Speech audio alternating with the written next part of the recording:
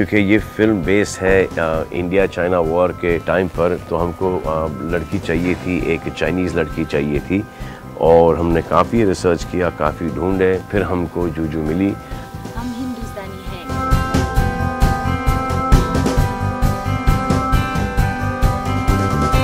So we needed a very good Chinese uh, actor uh, and that's when we started the hunt uh, and started looking at uh, actors from China, started speaking to people in China, the industry and uh, finally zeroed in on, on Zhu Zhu who is uh, internationally very famous for some projects.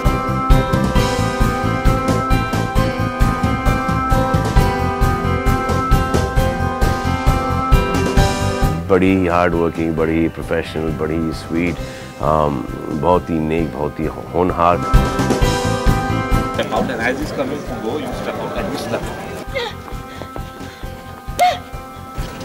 Yeah. It's a, it's a beautiful character. It's a, it's a character that has a lot of dignity and strength as a woman. And I think that's what attracted her. She loved the story and she reached out and said, Yes, I would definitely love to do this film. And that's how we started got chatting. And I'm really glad that it worked out because uh, uh, uh, Zhu Zhu's been a great asset uh, in this film. Thank you, thank you. This should come a little faster. Okay. कहीं हमेशा के लिए इसका यकीन तो नहीं टूट.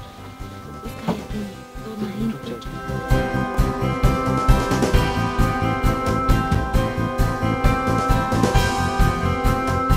बड़ा मज़ा है उनके साथ uh, यू नो काम करके I think she has brought the character uh, to a level which is way above what was what I had written in the script.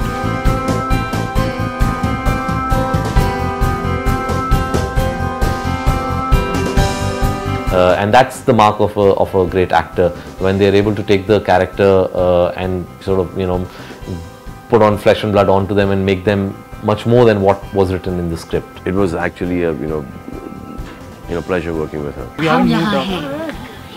यहाँ से हमने ईस्ट पे चिन्ह